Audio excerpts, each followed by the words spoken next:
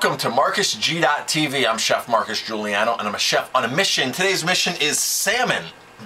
If you don't know, I have a great salmon site. I feel it's a great salmon site. It's called NoFarmedSalmon.com. And on that site, I present a lot of evidence, a lot of people's research, a lot of people's works, documentaries, videos, people that live in communities uh, where the salmon farms are happening. And the whole site is basically to educate people on the dangers, the possible dangers, the risk associations, the health associations. Some governments say don't eat farmed salmon at all, it's so dangerous, and reports on the toxicity load of salmon.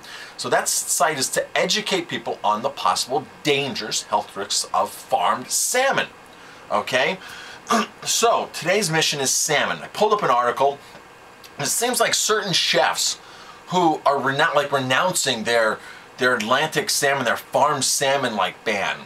So chefs have chefs a lot of chefs throughout the last 10 20 years have really made a big stance and said, "You know what? I'm into sustainable seafood and I'm not to touch farm salmon. I did the same thing and I still do the same thing. We don't serve farm salmon at my restaurant. I wouldn't eat farm salmon. I wouldn't give farm salmon to my family. Um, I don't view farm salmon as, as a pure, clean food. Now, granted, the industry has taken long strides forward since the 70s. Um, what happened in Norway in the 70s was these salmon farms were abusing the environment, just abusing it.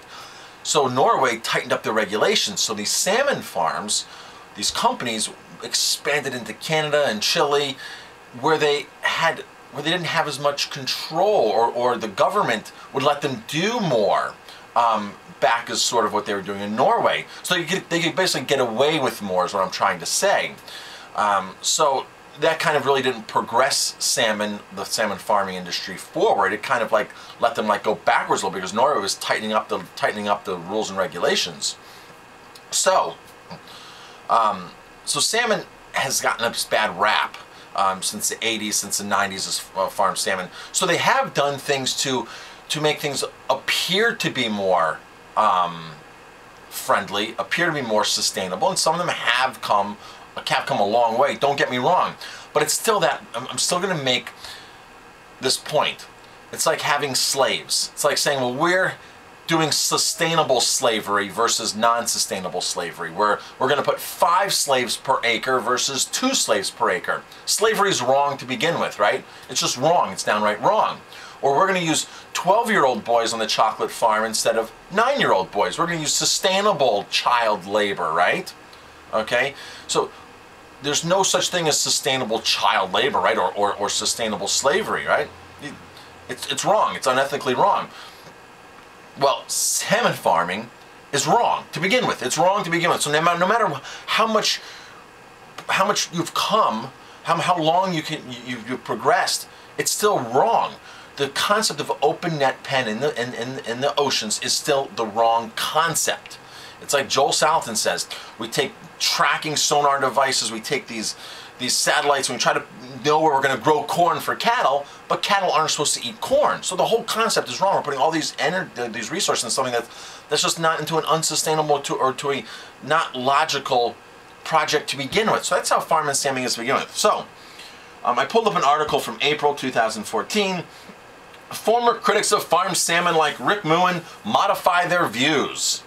Celebrity chefs like Rick Moonen, a champion champion of sustainable seafood. You go onto his Twitter. Chef, sustainable seafood ad advocate is what it says on his Twitter. Now he's been known for that for years for being into sustainable seafood. Um, a champion of sustainable seafood long before it was a cool thing to do. I don't know how long he's been doing it. I've been doing sustainable seafood since 1997. I stopped serving farm salmon in 1998. Stopped, um, you know, I was really conscious back then.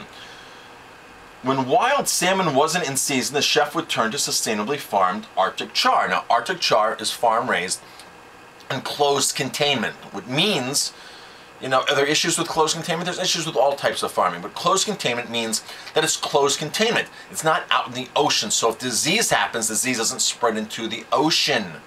Wildlife can't come into and get stuck into nets and try try to get try to get in, in, into the open pens and things like that. It's it, it when you you purify the water after this after the fish are done living in it or do all the fish are living in it so you're not depositing tons and tons of of fecal matter, salmon fecal matter, or Arctic char fecal matter onto the bottom of the ocean floor. It's a containment system where the water recirculates. You take the water, you purify it, you use the water again. Nothing gets out into the wild, into the ocean. So that's the difference between closed containment and open net, just, just to give you a quick um, rundown of that.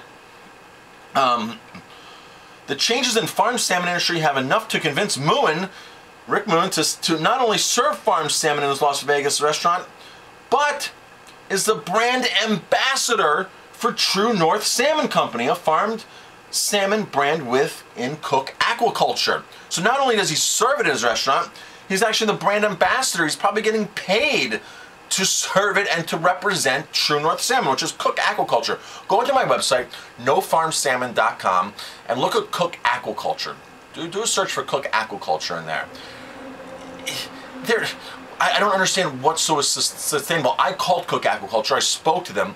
I don't understand what's so special about the salmon they're serving. This true. I don't understand what's so special about it. I don't know what would con- I don't know what would convince Rick Moonen to switch salmon. Now, however, I've tweeted Rick Moonen like four times. Please tell me what you like about the salmon. Please tell me what I, have asked a question. Please tell me more about the salmon. Please tell me what you like about the salmon. I've gotten zero responses. He's very active on Twitter. He's posting all the time. Um, but he hasn't responded to me. So I'm assuming, uh, what am I to assume? Uh, can he not answer the question or can he answer the question? So I, I don't know, but I really like to know what he actually thinks about why why he made the switch, what convinced him on True North, on Cooke Aquaculture, which doesn't have a good rap by the way. Look look at their stuff. I mean I mean what the, just just take a look at my site and, and, and look. Even even Google's Cooke Aquaculture and go on YouTube. You can find tons of videos of, of, of all the dead fish that, that, that, that the diseased fish and all the kind of stuff that's going on at the farm, which which is part of the problem of farm salmon. You're going to have deaths. You're going the most sustainable salmon farm companies out there, the salmon farms, the most sustainable ones that claim all this, this, and this, they have dead fish, they have diseased fish. It happens. That's that's part of the industry. So how can you be sustainable if you're killing off millions of pounds of fish because you have diseases within your farms?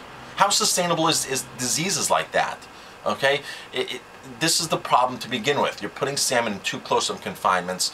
You're not feeding it what's supposed to be feeding out in the wild. You're, you're you know you're feeding it a combination of a soy, a grain diet. Um, not the not the real foods. The fish don't don't have the migratory patterns.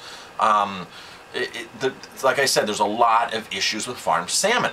So I would like to understand why Rick is picking this salmon and and and and, and turning into, you know, and relying upon farmed salmon um, for, for a menu sample. Know, he, I'm sure he still does serve wild salmon, as I'm looking at his Twitter.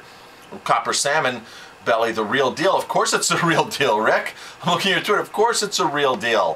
Farm salmon isn't the real deal. I'm really, I'm really surprised, and I spoke to a couple other people in the industry about this, people that are into the sustainable seafood industry, um, and they were really surprised that Rick had gone um, and they said, I just saw Rick at the seafood show and this and that. And, and I'm really, I had no idea that, that, that he was supporting farm salmon and actually being an ambassador, a brand ambassador of one. Uh, the people were in shock about this. I'm like, yeah, look at the article. I sent the article to a couple people and they were like, oh my gosh, I just saw him. I just saw him at the Boston Seafood Show. I didn't realize that.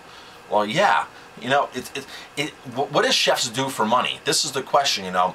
I mean, did they throw him enough money to actually sway him and say, here's, here's what it is. Now, if you go to farmedanddangerous.com, they have a whole report because Cooke Aquaculture, True North claims that they're certified, they're eco-certified, whatever it is. You go and that, Farmed and Dangerous, and it pulls apart all the problems with Cooke Aquaculture.